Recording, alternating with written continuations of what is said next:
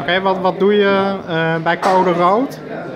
Ik organiseer mee aan de diversiteitswerkgroep. Uh, dat betekent dat wij um, banden willen leggen met andere uh, bewegingen en groepen die um, slachtoffer of de van klimaatverandering ervaren en, en dat, dat we met hen mee kunnen werken aan deze actie, maar ook in de toekomst dat wij samen kunnen werken um, naar een betere toekomst.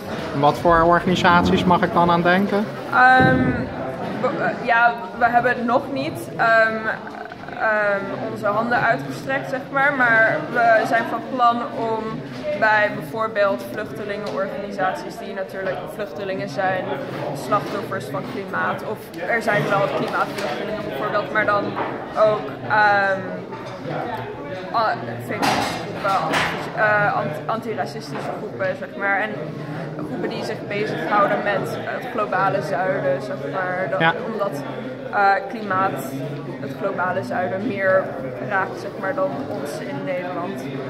En waarom heb je voor die werkgroep gekozen?